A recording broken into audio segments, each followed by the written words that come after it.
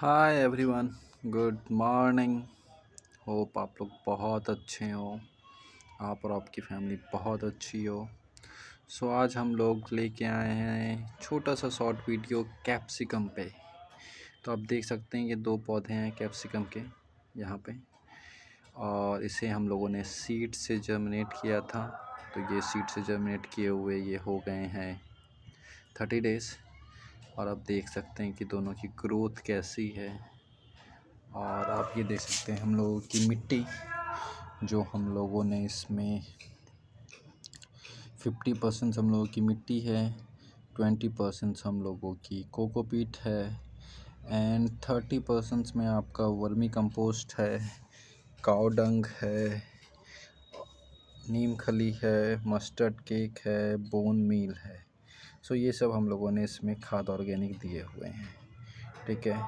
Bone meal का use होता है आपके कैल्शियम के लिए, जो आपके पत्ते नहीं मुड़ते और अच्छे फ्लावर्स आएँ उसके लिए।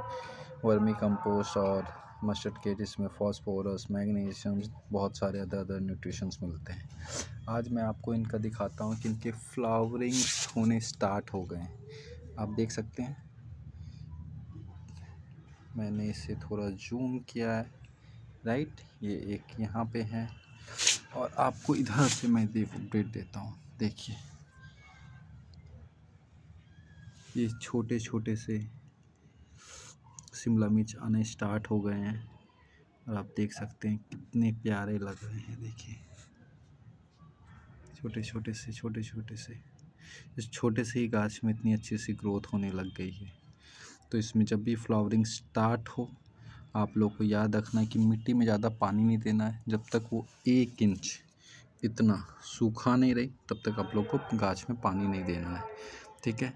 और जैसे ही फ्लावरिंग स्टार्ट हो जाती है तो आपको इसमें हमेशा बीस दिन में जो भी आपके पास ऑर्गेनिक खाद है, वर्मी कंपोस्ट है तो वर्मी कंपोस्ट डाल दीजिए।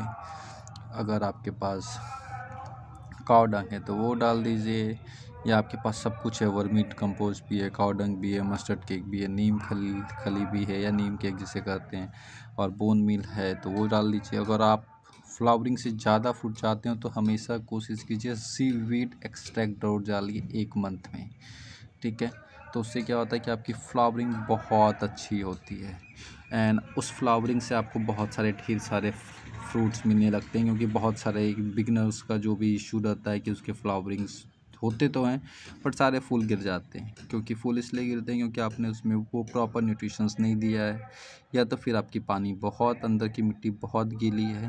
तो पहला याद देखिए प्रॉपर न्यूट्रिशन दीजिए, और पानी फ्लावरिंग से स्टार्ट होने के बाद, जब तक मिट्टी सूखी सूखी नहीं हो जाए इतनी, तब तक पानी आपको नहीं देना है।